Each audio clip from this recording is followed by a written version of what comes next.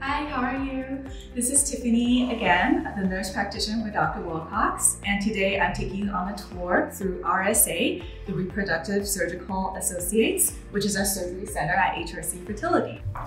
Okay, so let's take a look at our beautiful waiting center here.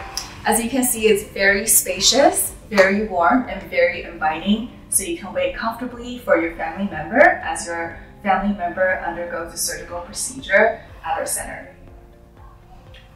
So now I'll take you through the recovery bay where we have seven beds and then we can show you what they all look like.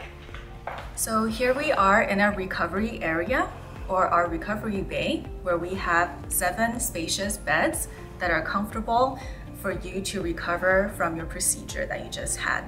You will be safely monitored here and well cared for by our team of licensed professional and compassionate nurses, some who have been here with us for more than 20 years. You'll also have your pre-op preparations and paperwork done here, and you'll also meet our experienced anesthesiologists.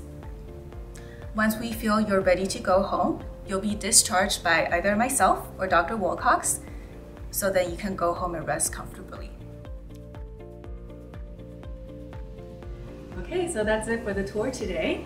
So rest assured that we'll be taking good care of you here as you recover from your procedure in RSA.